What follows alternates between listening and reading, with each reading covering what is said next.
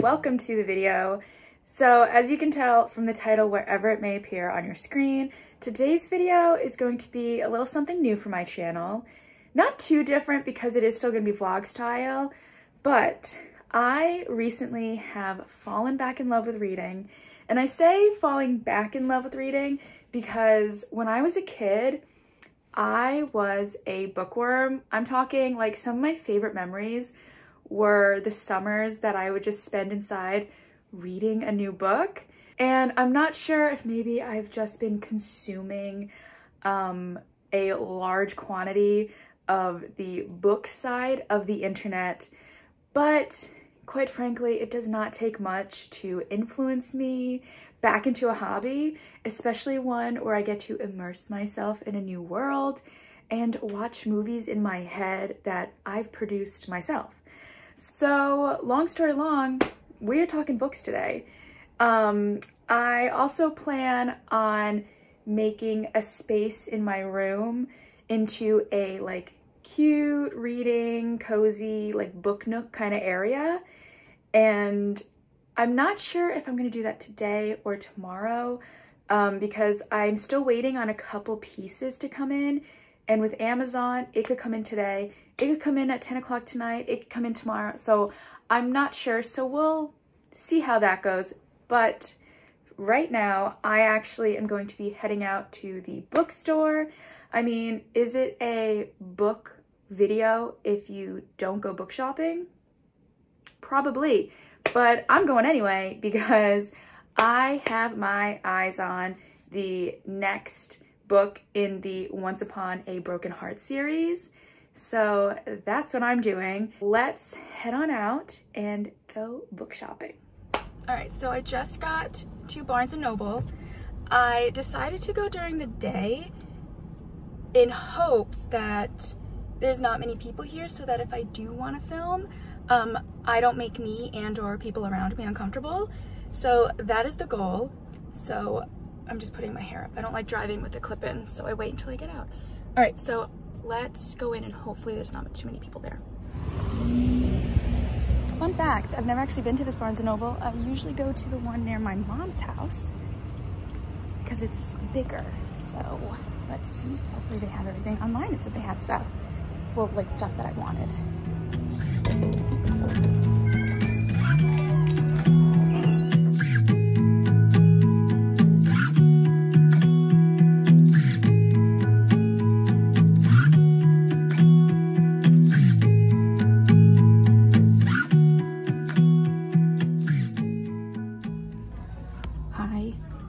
This book. I just read it. I'm actually waiting for the physical copy to come in the mail, so I'm not buying that today.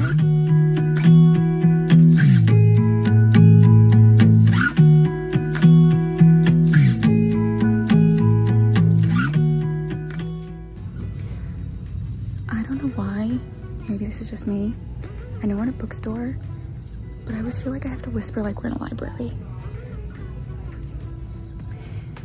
So I have some books in mind that I want and I could ask where they are, but that takes the fun out of the search and finding other random books. I'm gonna head to the like fantasy fiction section.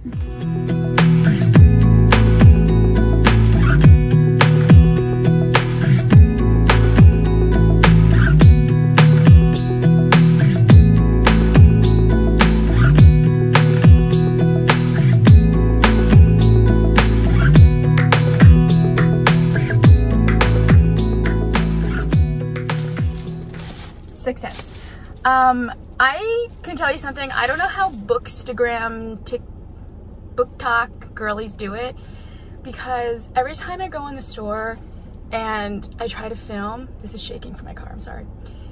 I just, I don't know how they, they set up the camera to record themselves looking unless their Barnes and Nobles are just completely empty because I just, I feel so, oh my God, this is shaking way too much.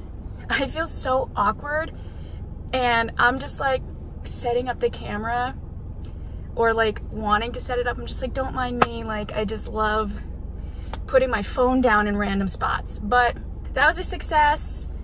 This Barnes & Noble is very, very small and I like it, But at the same time, I like that my mom's has like everything and it's very easy to find things. So that's my takeaway from this Barnes & Noble. Anyway, I'm heading back to the house and give you guys a little haul of the books that I have purchased this, like the past like 10-ish days. I've gone a little crazy. I think my book buying to reading ratio is like 40%, which is pretty good. Um, anyway, I am going to head out. It is very hot. I apologize if you hear the AC running and it's annoying, but it is very hot and I am very ridiculous and chose to wear the sweatshirt today. So it was cold this morning. It's not cold anymore. I'm waiting for the mowing to stop. It seems to come and go. He's mowing the sidewalk. Is that normal? Do people mow their sidewalks? There we go. All right, so good morning, everyone. It is the next day, and I am going to start setting up my reading spot. I guess I really shouldn't say I'm gonna start because I did start the process last night by assembling my bookcase. Um, it was not too difficult to put together. I mean, the instructions could have been a little clearer, but I am a mechanically inclined girly, so it wasn't too bad, and it didn't take me too, too long, but I'm very, very happy with it. I think it looks so cute, and it's gonna be perfect for this spot. The next thing I have to do, which is kind of the last of like the building process, is put in my new chair. Um, so I'm going to do that and then we're gonna start the fun part of putting everything in its place and my books in the bookshelf and decorating. Spin me around and around, turn me upside down,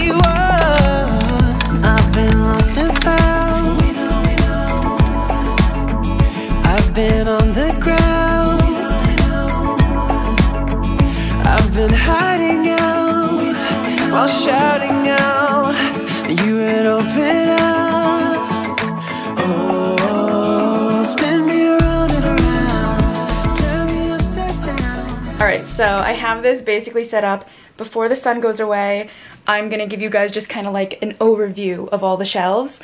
I'm not gonna go into detail on all the books, just because at some point in this video, I will be doing a haul and small book review. So here is what I ended up with for now. I love that I have so much more space to add so many more books to. So starting at the top, I have this little plant that I got from Amazon. It is fake. I wrapped fairy lights around it and I put it in a vase that I have had forever. I think I got it from Job Lot and it looks like a little sweater and I'm obsessed with it. I then have a candle and candle holder from Bath & Body Works that I got also forever ago. The first shelf I have some of my prettier books, a little sign that I got from Michaels from their current Halloween collection, and then you guys saw me putting fairy lights around this top one. I thought it could be more like a, um, I don't know, I wanted to have it like display case like. Next up we have all the books that I have either read or are on my like upcoming TBR. And then I got these two bookends from Amazon. This one I painted. It originally looked like this but black, but I wanted the contrast. I thought it'd be nice to go from like light to dark. Here are my books that I definitely want to read sometime soon. Down here I just have a spot to put my electronics and just some like older books and books that I don't necessarily have a plan to read right away. And then the bottom is just a bunch of books from when I was younger. I just want to have them on display, but I didn't need them in a spot where like you could see them right away or I needed to grab them right away. So uh, that is the reading spot. I'm so excited with how it turned out. I definitely still have a little bit more decorating to do, but I'm very happy that this is the beginning of it. I really want to finish this book. I have about 50 pages left and I just have to finish it. So what I'm going to do is I'm going to test out my new little reading spot. I'm going to finish this book and then once we start talking about books, I can give you guys my little review. I'll add it to the review section rather than the currently reading section. So I'm to finish this and then we will talk again.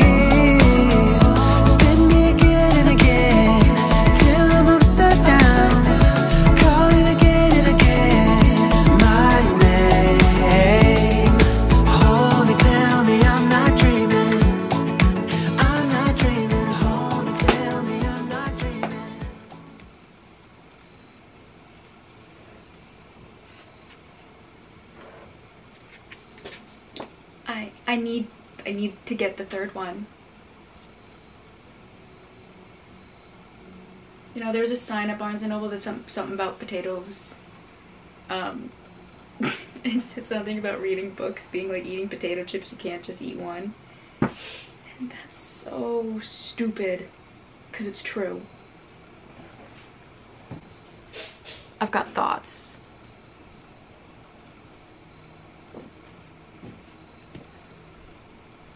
It is now the next day. I originally planned on filming this portion of the video last night, but I just ended up taking a break in between doing the bookshelf and finishing my book. And then it just got so late and I was like, I'm just gonna film this in the morning. So here we are. I am very excited because it is finally time to talk books. I Mm, all this is basically a haul simply because I have purchased all of these books within the past two weeks. Um, but they will be falling into one of two categories. The first being books that I have already read slash books that I am currently reading, like right now. And the second category is books that I have on my September TBR. I know I'm going to end up adding more but um, I'm keeping it simple for now. If I do end up adding more, I will put them all in the description. I'm going to be listing every book that I talk about today down there. I'll list the name and the author. Anything actually that I have talked about, even anything that I have here that can be listed down below, in case anything tickles your fancy, I will be putting that down below as well.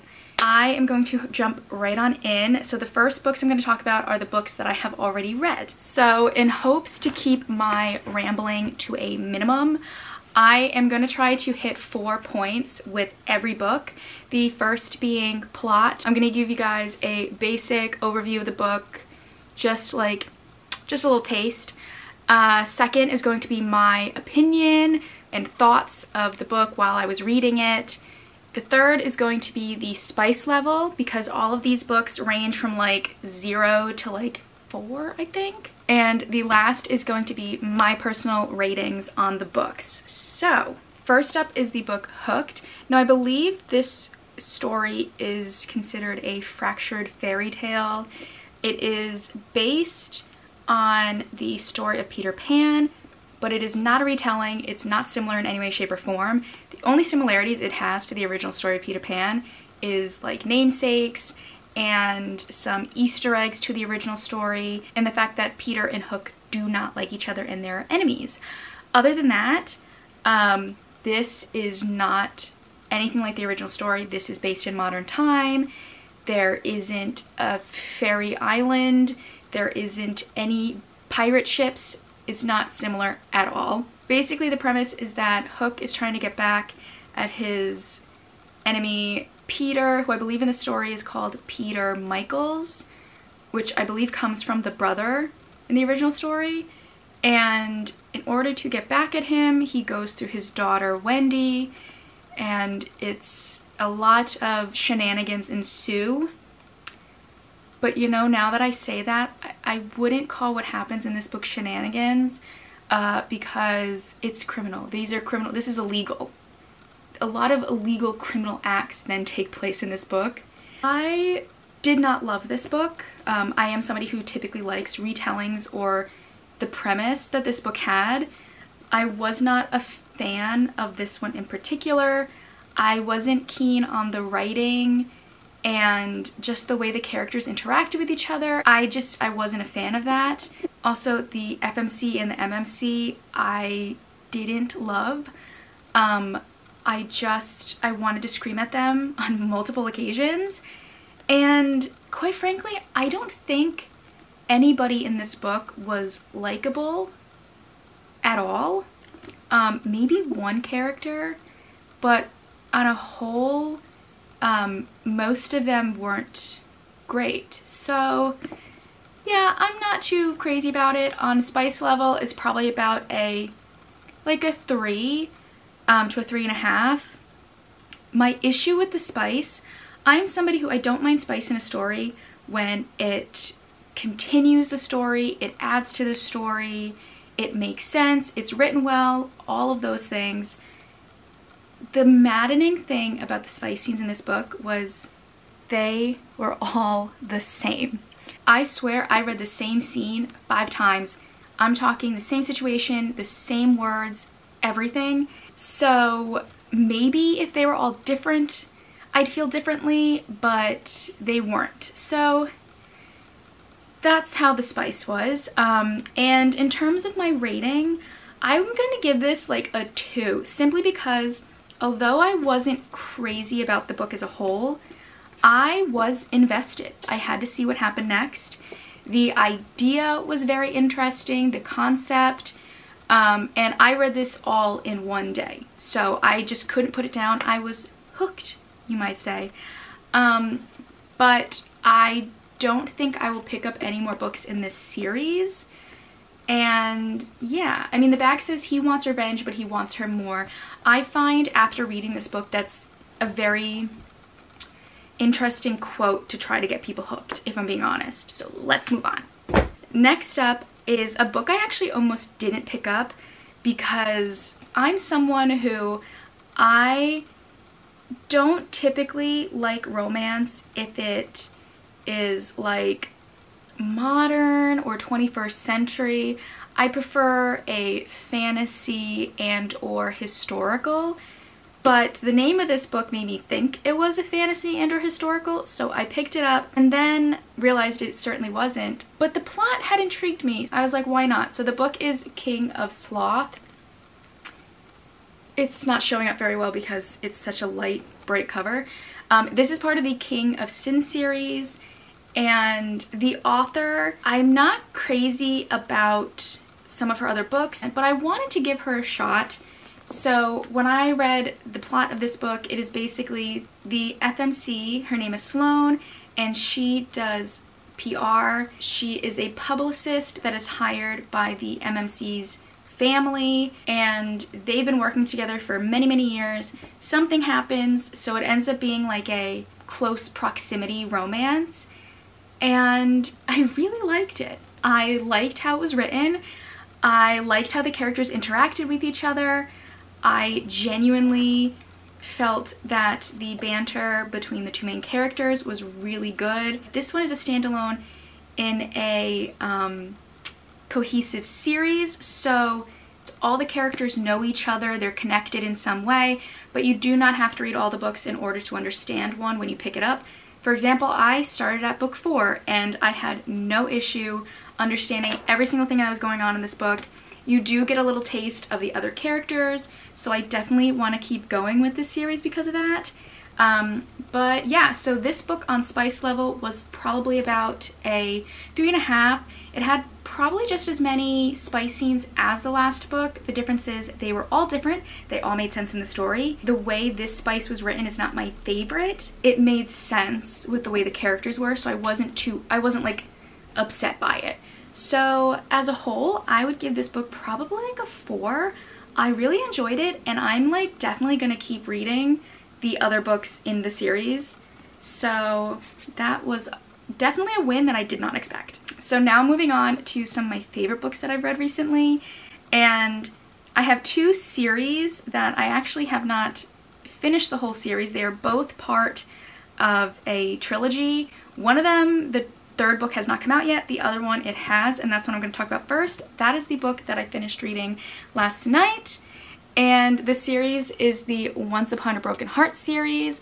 So the first book is the namesake. It is Once Upon a Broken Heart. I just hit myself right in the eye.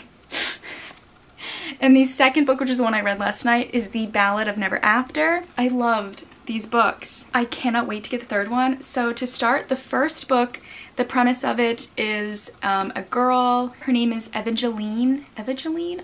Evangeline? I don't really understand, I don't feel like, it sounds better in my head than it does out loud when I say it. Um, but she makes a deal with a fate named Jax and she is told she shouldn't make deals with fates. Everybody knows this, but she does it anyway because she feels like she's desperate in a certain situation that she's in at the current time. Jax is decently reckless, but he's also very cunning and conniving. I really started liking it once it got to like the last third of the book. This book was very slow at first. It actually took me probably like two or three days to get through it um, because I just was having issues getting into it at first. But this is definitely building something. This book is building the world we see, the characters, it's introducing us to everybody, introducing us to the type of magic and the type of fantasy that takes place in this series. So I appreciate it for those reasons. Once I actually got into the book, I like had to finish it right away. And it made me start the second book right away. So the second book, isn't that cover just so stinking pretty? I wish you could see it a little better, but the sun's shining kind of weird. Um, but the second book is like the meat and potatoes of the story. It is the continuation of what's going on in this book. Still following along with Evangeline, Evangeline and Jax and all the stuff that Jax is up to. I loved this book so much. It was so good. I could not put it down. My only complaint about this book, I didn't like the ending. I was not crazy about it. I just felt kind of disappointed by the ending. So my hope is that the third book kind of makes up for it and makes me hate the ending less, but we shall see. Um, in terms of spice level, these are zero. There's no spice. Slow burn, as slow as burns can be. None at all. And I think as a whole, this book I would probably rate a three and a half to a four. And this book is like a four to a four and a half. I know I should just be giving like straight to the point star ratings, but that's just kind of how I feel. And I'm very, very, very excited to start the next book in the series. I've heard some like different opinions on the third book, so fingers crossed that I like it, but I guess we shall see. The last two books um, is kind of similar. They are the two first books in a series, and that series is the Assistant to the Villain series. And the plot to this book is that the main female character, Evie, is looking for a job. She needs a job to support her family, and she somehow wanders into the position of assistant to the villain of her town. It's very interesting to see how a I you know what the funny thing is? He's never called an evil villain. He's always just called a villain.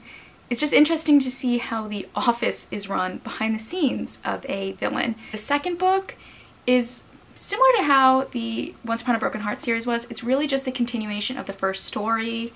It's more of Evie and the villain Tristan just working together and everybody trying to work against his enemy, who is the king of the land that they live in. My opinion is they always say that you will have a soft spot for the first book you read that really got you into reading again or a certain genre. And these books um, that's what these are for me. I loved everything about these books. I thought they were so cute. It is exactly how I want my story to go. Um, all the characters, even the morally gray ones, even the ones that you're not necessarily supposed to like, were all very charismatic in a way that you understood how they were the way they were. And I appreciate that so much in a book. The two main characters I absolutely love. The only thing I will say is that I don't love that they keep calling the villain the villain when he has a name. Um, I don't think this is a spoiler because in the book, even the villain is like, how do you not know my first name? Um, but his name is Tristan and I just wish they called him Tristan more and or sir or boss. Those I don't mind. But it's just so odd that to his face they call him the villain. Um, that's my biggest complaint, which quite frankly is not really that big of a complaint to have about a book. In regards to Spice, um, fun fact, when I was going to read this book for the first time, the reason I ended up buying it digitally was because I went to buy the physical copy on Barnes & Noble of the first book and I, I wish I can find it. If I find it, I'm putting it on the screen here because I was like, after reading this book, I, somebody posted and they were like, if you just want smut and spice, then read this book, but this was ridiculous.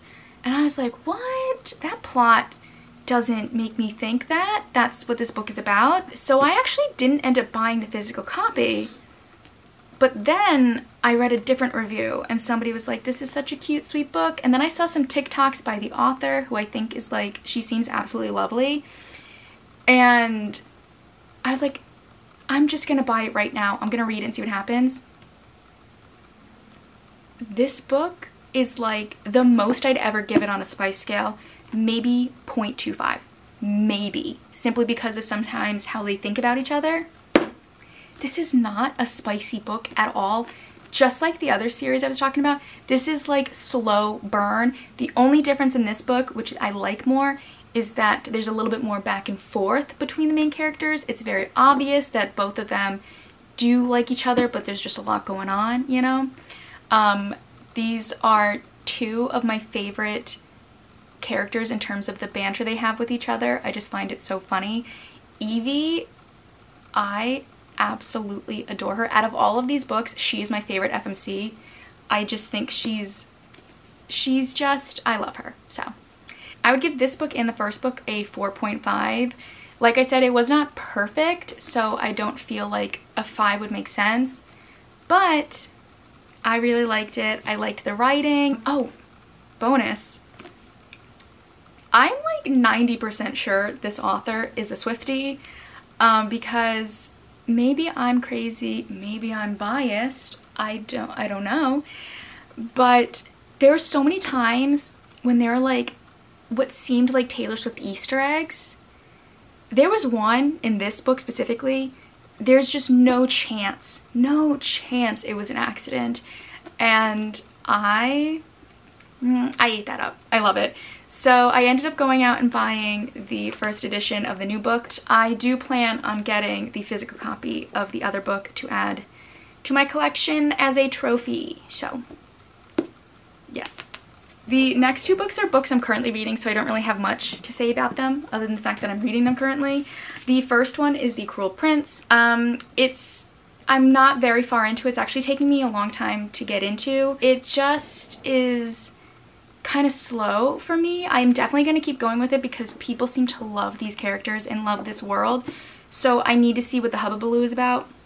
So I am going to finish reading it, but as of right now, I'm not super crazy about it. And next up, this is the one that I'm like, I have been having issues putting it down, and that is The Divine Rivals. When I first got this book, all I knew was that the, it was, they were writers and there was a mystical world, but the concept and premise of this book is so good. My only complaint so far is that the world it's set in is a bit confusing. Um, I feel like now that I've read more, I understand it. When you first start it, it was a bit confusing to understand like what the magic was here. But once you get into it, uh, it is very good and I'm about 50% through with this book and I cannot finish I cannot finish. No, I will finish. I cannot wait to finish it. I'm actually probably going to finish it tonight because why not? So moving on to our next category. These are all the books that I have planned for my September TBR. Like I said, I probably will end up adding more, but this will be my start. And I have three that are physical copies, and then I have two books that I do not own yet, but I plan on purchasing. So the first book is The King of Wrath. This is the first book in the King of Sin series. This book was actually another one that when I first read it seemed interesting to me, but I decided to go with the Sloth one first. But people seem to love this one, and I've heard that this is people's favorite couple out of the entire series. So this was like a definite like had to add it to my list. Next up is the Witch Collector. This one was also recommended as a like villain gets the girl kind of trope. Um, and also anything that has to do with witches, I love. So this is based on a girl whose sister is taken by the witch collector and the witch collector like works for a higher evil or something and eventually she has to stop trying to go after the witch collector and start working with him. Um, I don't fully know, but I know that this is always on people's like must reads. They loved it, like almost five stars, so I just knew that I had to, it had to be next up. So last in my physical copies is the book that has been talked about so, so much. I'm pretty sure on Goodreads it's like a 4.9. And I chose not to get it at first because, I don't know, I didn't love the cover, but then I saw this different edition of it and I was like, that's it. I'm gonna get it. Everyone loves it. My only concern is that I was watching somebody online whose opinion I find are very similar to mine. She DNF'd it. And the description of what she was giving made me think like, oh no, I don't know if I'm gonna like this book. But I am gonna give a shot because one, I purchased it. Um, and two, so many people like it, I just have to see for myself. And that is the book Quicksilver. The only thing on the back of this one is do not touch the sword, do not turn the key, do not open the gate.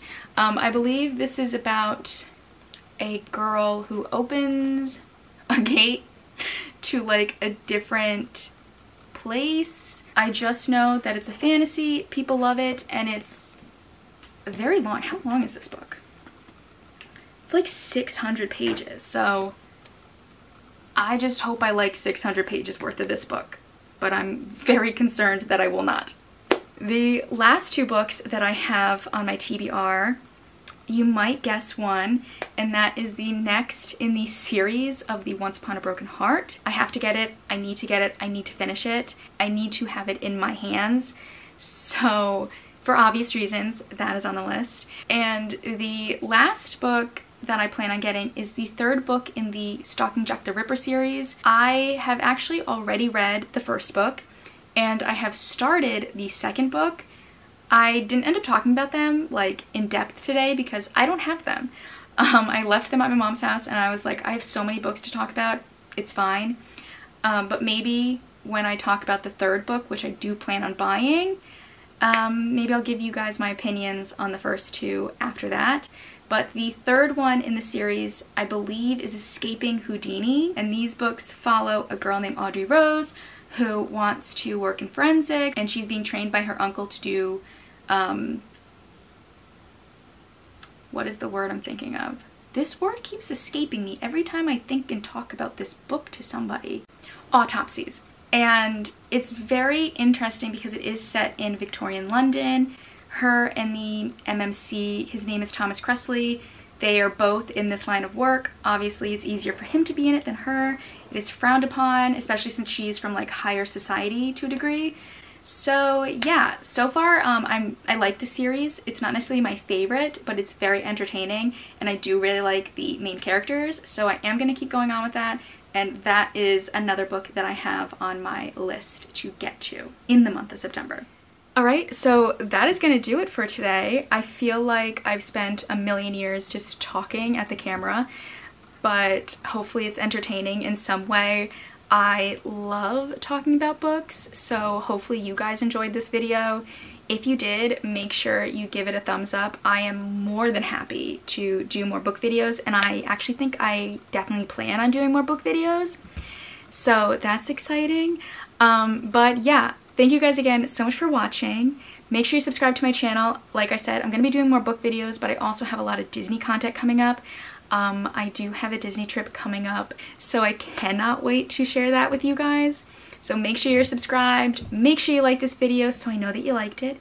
And yeah, so thank you guys again for the millionth time for watching, and hopefully I will see you next time. Bye!